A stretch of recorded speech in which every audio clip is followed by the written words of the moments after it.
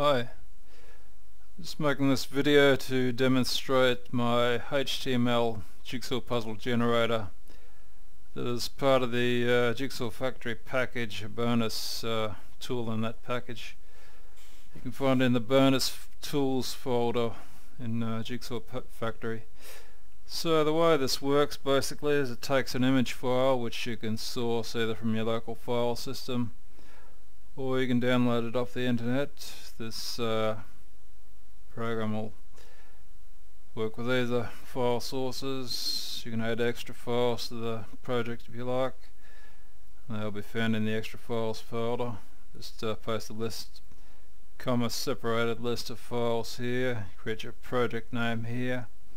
Or you leave it blank to generate a blank name set FTP details here to do a file transfer protocol upload if you uh, want to host it on the internet somewhere. You can also generate preview images, thumbnail image for the preview, image and a zip file archive. So I'll just grab an image off the internet, this one here. I'll grab the image address of that uh, preview file. Paste it in here. Basically the program looks for either a HTTP, HTTP or HTTPS protocol header and uh, if it finds one it knows it's a web address otherwise it will think it's a uh, local file in your file system. So I've got that don't need to fill anything else in. This is already checked, so we'll just create the puzzle file. And that will appear in the output folder. So it's just creating it, downloading it. Now it has created it. So it's generated a random project name here for the folder and this is the file it generated. And this is a HTML file so you just double click on it and it opens in your web browser. and it's a self-contained file, all the media is encoded into the file in uh, base64 encoded text. So you can just share it as a single file, post it on a website or whatever. And you can solve the puzzle. This is actually a simplified version of the uh, puzzle client I use for Jigsaw, which is generated by Jigsaw Factory. So you've got, you can stack the pieces together like that. It doesn't have drag capability with these. Still got to add that at some point. Yeah, just click on them to pick them up, clicking in to drop them. So, there's this, there.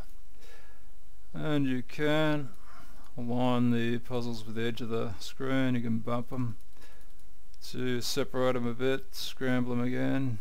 It'll scramble any connected pieces too, or to the corners or to the sides, like that, or to all, like that, and we'll complete the puzzle. Scramble them again, and we can have multiple pieces. So that uh, just turns your uh, image into a HTML jigsaw puzzle which is completely self-contained. That's just a single file here. You can also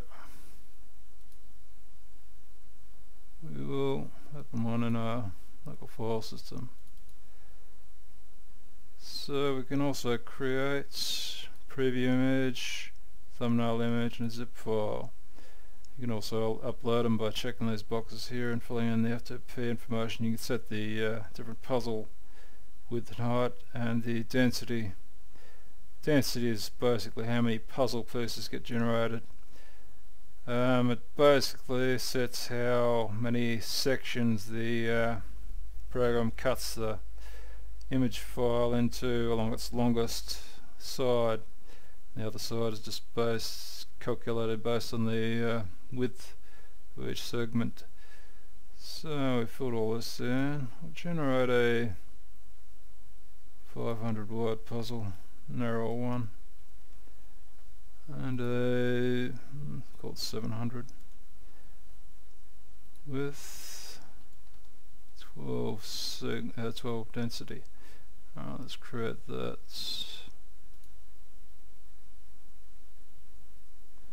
That's been created and the project name just appears here. You can copy it with that button there.